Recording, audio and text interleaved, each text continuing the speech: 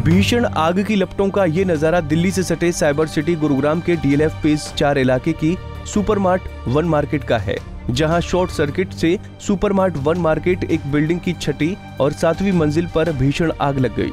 आग इतनी भयानक थी कि उसका अंदाज़ा आप इन तस्वीरों को देखकर लगा सकते हैं। बिल्डिंग से आग की लपटें बाहर चल रही, हवा से भी तेज हैं। मिली जानकारी के अनुसार ये आग पहले छठे फ्लोर में लगी थी धीरे धीरे आग ने विकराल रूप ले लिया और सातवें और आठवें फ्लोर को भी अपनी चपेट में ले लिया। घटना की सूचना पाकर दमकल विभाग की कुछ गाड़ियाँ पहुँची, लेकिन उनका प्रेशर कम होने के चलते आग पर काबू न पाया गया। इसके बाद डीएलएफ ने अपनी गाड़ी बुलाई और कड़ी मशक्कत के बाद आग पर काबू पाया।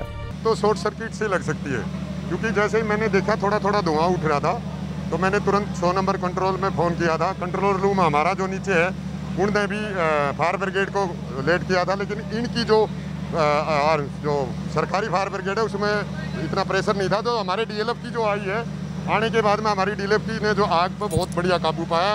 हवा तेज होने के कारण बिल्डिंग ज़्यादा जड़ी गई। यही कारण है। कौन कौन से फ्लोर पे आग थी? सिक्स पे और सेवन पे। यस।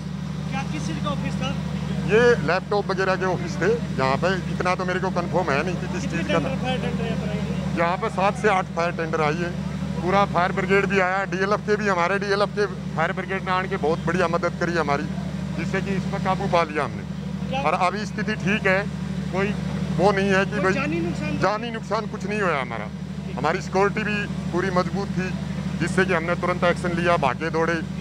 डीएलएफ दमकल कर्मी श्रवण कुमार ने बताया कि ये आग शॉर्ट सर्किट की वजह से लगी है। करीब डेढ़ से दो घंटे की कड़ी मशक्कत के बाद आग पर काबू पाया गया।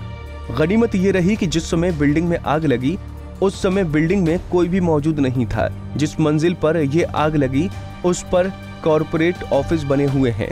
गुरुग्राम से मोहित कुमार, पंजाब केसरी टीवी।